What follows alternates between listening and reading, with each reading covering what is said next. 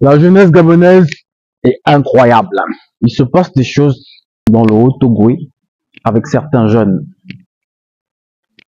Il y a certains jeunes qui sont en train de faire des choses pas comme les autres.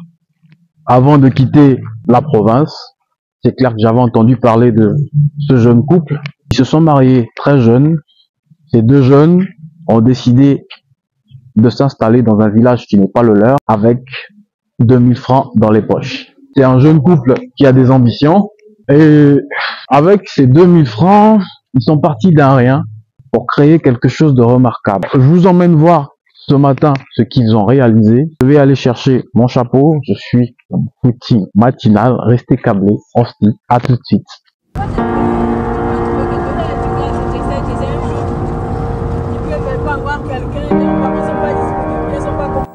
Nous sommes dans une localité appelée Vengue et elle est située à près d'une demi-heure de Franceville. C'est là-bas que je vais rencontrer Dev, la vingtaine qui vit avec Naomi, son épouse. À Mvengue, il n'y a certainement pas grand-chose à voir. Cette localité est connue pour abriter l'aéroport de la province. C'est ici que Dev et Naomi se sont installés pour réaliser leur rêve, avoir un verger et devenir des distributeurs de tous les épiciers et revendeurs de fruits et légumes de la province et pourquoi pas du territoire gabonais. Ça a été un début rempli de découragement, mais ils n'ont pas baissé les bras. Et de nos jours, leur renommée se répand dans la province. Dev? C'est lui Oui, c'est lui. Ah ok. Je passe euh, comme ça? Ah.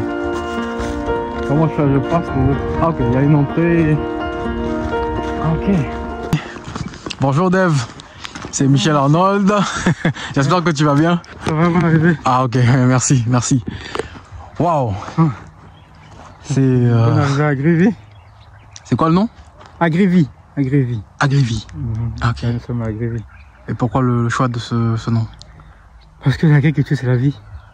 Sans l'agriculture, il n'y a pas la vie. Ah d'accord. Chaque jour, nous mangeons. Chaque jour, on a besoin de manger. Peu importe le titre, qu'on soit ministre, qu'on soit président directeur d'une entreprise, qu'on soit un simple citoyen, on a toujours besoin de manger. Wow. Toujours, toujours Wow. besoin de manger. Waouh. L'agriculture, parce que c'est quelque chose qu'on voulait déjà faire, que moi je voulais déjà faire personnellement. C'est vrai que nos parents font de l'agriculture, mais si- l'agriculture que nos parents font, c'est pour nourrir la famille seulement. C'est pour nourrir de, les membres de la famille après et le reste. Font comment? Donc il faut nourrir tout le monde, il faut que tout le monde arrive à manger. Et pour que tout le monde arrive à manger, il faut des gens qui puissent euh, produire. Aujourd'hui, on importe quasiment tout ce que l'on consomme. Pourquoi? Parce qu'on ne produit pas ça localement. Donc, euh, l'agriculture de nos parents, elle a montré, c'est vrai qu'elle est bien, mais elle a montré, elle a, elle a également ses, ses limites.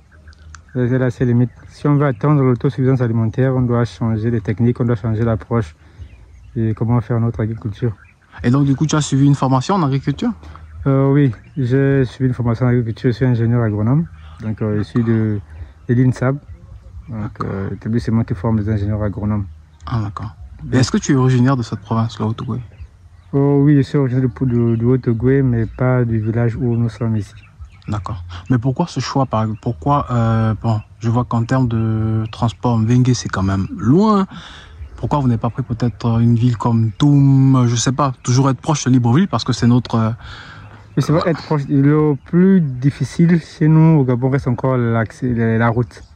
Donc pour avoir un terrain qui est proche de la route, c'est quand même assez compliqué.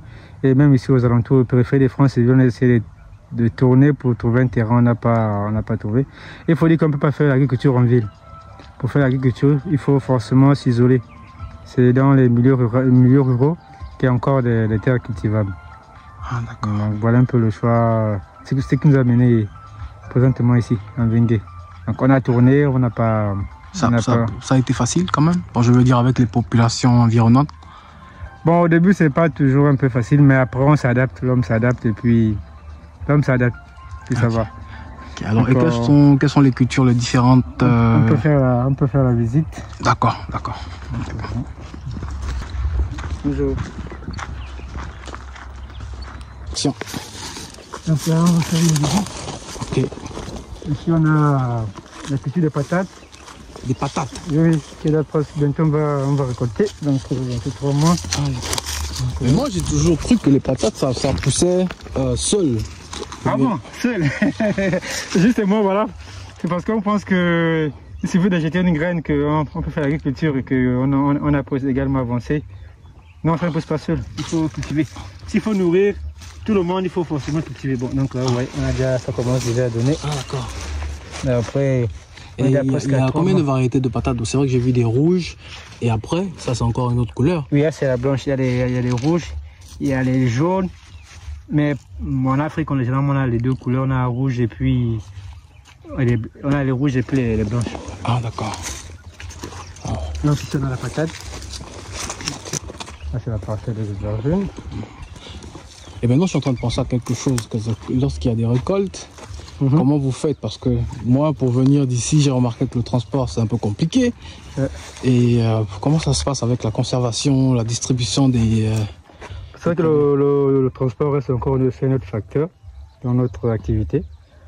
Mais comme la route, nous ne sommes pas très loin de la route, on prend un véhicule. Lorsqu'on finit de récolter, on prend un véhicule qui nous amène jusqu'à jusqu'à. Ah, d'accord. On y comme il y a les gens qui font, des- qui font du transport, il y a des clandos. Donc euh, on les prend et puis on paye. Ah, ok. Et ça fait combien de temps que vous êtes là-dedans dans ce... Bon, sur ce site, on est là, euh, ça fait déjà un an. Un an. Oui, Ah, un, jour pour jour. que Nous sommes sur ce, ce site-là. Donc là, on est sur 7000 mètres carrés. Euh, on va aller plus loin, on va encore l'agrandir. Mais ça va, ces résultats sont satisfaisants quand même, malgré les obstacles. Ça- C'est encourageant, ça vous donne envie de rester. Oui, oui, si on est là depuis un an, c'est que ça, ça va, ça va, ça donne envie de rester. Mais on veut faire plus. Mais ça va. Ok. Ici, on a le piment. Ah, il y a du piment. Donc, si tu veux goûter, Goûtez le piment. ah non, je crois que... pour les amoureux du piment, ceux qui cherchent le Ah piment, non, qui, Oh non, moi, malheureusement. ceux qui cherchent le piment qui, qui, qui pique, donc Agré vous- peut vous en fournir. Ah, d'accord. Ah, là, on doit même faire une récolte là. Il faudrait qu'on récolte. Comme Et il y a bien un contact téléphonique pour qui veut? Oh, oui, oui, oui. On a même notre page Facebook à Grévy. Vous allez là-bas, vous trouverez nos contacts. Sinon, ceux qui veulent peuvent aussi nous contacter directement. On fait son les livraisons le lundi et les, les samedis, que ce soit à Manda ou au Franceville. Ah, d'accord. Bon. Juste magnifique. Et très, très encourageant parce On va que... Ah, ok. Donc là, ce que nous veut, c'est pour aller plus loin, il faut mécaniser l'agriculture. Donc, ça, ça, il faut mécaniser. Ah, Il y a besoin d'équipement. On a besoin d'équipement. On va parler par exemple de nos, de nos moments. Mais ces personnes, elles sont déjà vieilles, elles sont vieillissantes. Ouais. Oui, aujourd'hui, le manioc qu'on consomme, il revient du Congo. C'est pas, c'est pas normal. Que nous-mêmes, on peut, on peut le produire sur place. C'est pas normal. Et non, il y a non plus la force aussi comme avant, non plus assez les forces pour faire des grandes exploitations. Ce sont des petits champs, quelques mètres carrés. Mais si on parle d'agriculture, c'est vraiment, vraiment énorme. Faut tous nos Vous gamins, le faire à, grande échelle. voilà, il faut le faire à grande échelle. Il faut le faire à grande échelle. Et pour ça, il faut, il faut, il faut, il faut mécaniser.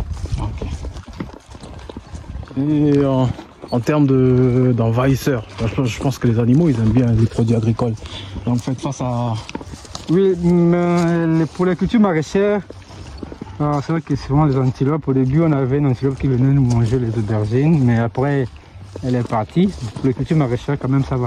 À part les insectes, mais pour les, autres, les animaux, que les sangliers, les éléphants, non, ça, ici, ça va, c'est tranquille.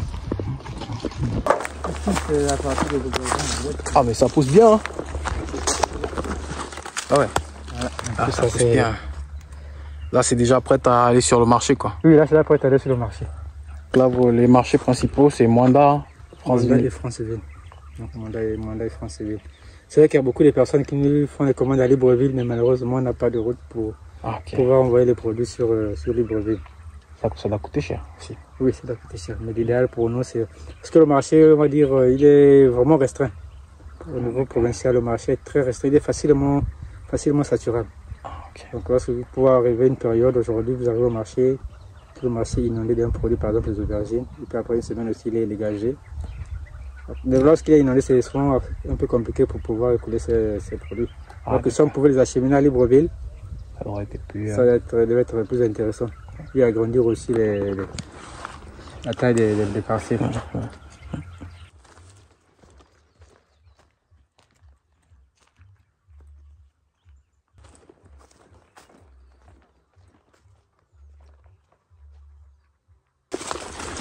Ici, on a nos, nos stagiaires. Je suis venu là. Ok, je savais pas. Ok. Biotènes. ok. C'est- Rebonjour. Bonjour. Alors ça se passe bien sur le terrain? Ah oui, ça va. Ah ok. Donc vous êtes là euh, tout le temps, dans la- tous les jours dans la semaine? Bon, pas tous les jours. hein. Quand il a besoin de nous, il nous fait appel et on vient. On vient, on apprend et on l'aide. Ah ok. Ça a été un réel plaisir pour moi de vous avoir emmené au cœur de l'univers de Dev et Naomi. Pour les encourager ou acheter leurs produits, rendez-vous sur leur page Facebook Agrivie. Quant à moi, je vous dis merci de m'avoir suivi.